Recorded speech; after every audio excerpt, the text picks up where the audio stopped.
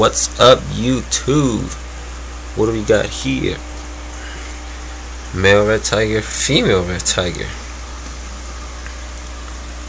Um, y'all can see almost the same size actually. Um, I don't know how they spawn, cause I know Dovies don't fight. They don't lip lock. I'm not sure about these because he's not doing you know the showing off thing.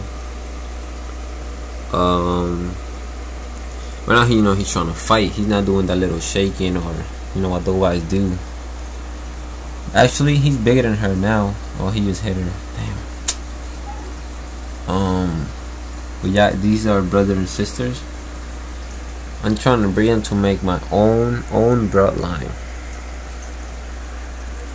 Um, y'all can see, this is my female.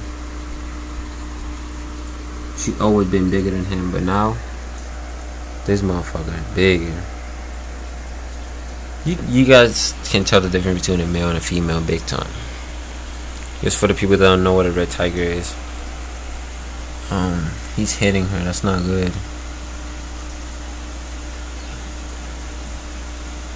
Um, damn. I don't know how they, you know, try to mate. Damn, he keeps hitting her. I fuck, I guess I'm gonna have to take her out. But y'all can see the difference. Almost the same size, but he's bigger now. Um, damn. I don't know how. I don't know how really they uh they spawn. I don't know if they have to fight or she just likes him by him by showing off. I know how to the Dovies, I know how Dovies do it, but I don't know about red tigers. Um, yeah, this is brother and sisters.